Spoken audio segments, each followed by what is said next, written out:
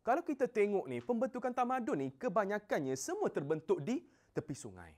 Okay, antaranya kita tengok uh, tamadun Mesopotamia, Sungai Euphrates, dan tamadun Indus pula dekat Sungai Indus dan satu, satu lagi tamadun Huang Ho dekat Sungai Huang Ho. Baik. So, kenapa sungai?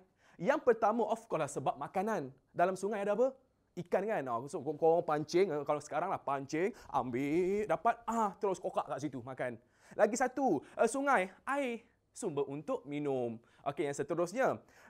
Sekarang kita nak pergi mana-mana kita ikut atas jalan raya. Kita bawa kereta naik atas jalan raya. Dulu tak ada jalan raya. Yang orang ada hanya sungai. So, si diorang gunakan sungai itu untuk pergi ke sesuatu destinasi. And lagi satu, yang penting sekali ialah tanah yang subur. Perasan tak korang, kalau korang pergi mandi air terjun, sekeliling dia adalah hutan. Ada tak air terjun dekat kawasan Padang Pasir? eh, ah, eh, ah, eh,